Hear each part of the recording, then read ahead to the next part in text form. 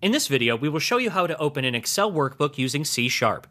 First of all, let's start a new project. Select Console Application from the options over here and name the project before hitting the OK button. With that done, the code window will open up. Now we have to add some libraries first. For that, move towards the libraries portion at the top and add the two assemblies, one of Microsoft.Office.interop and the other of Excel equals Microsoft.Office.interop.excel.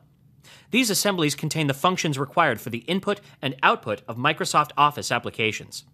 After that, let's start defining a new function. In this case, we've named it OpenFile over here. The function definition will start from a string variable, which would contain the path for the Excel file which has to be opened.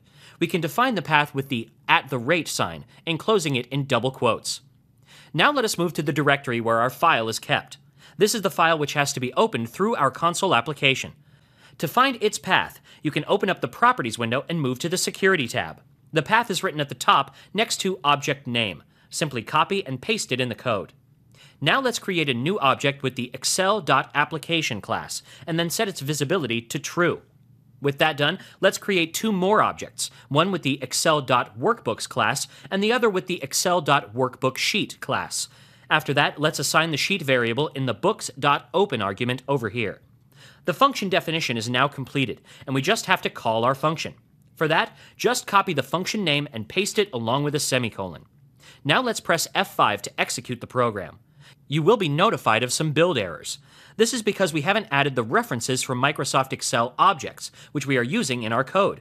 To add them, just open the project menu and then choose the Add Reference option.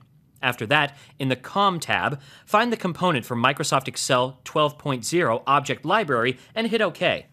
Now execute the program and a console screen will appear. After the processing is complete, the Excel file will open up. And that's it. We have successfully opened up the Excel file using C Sharp.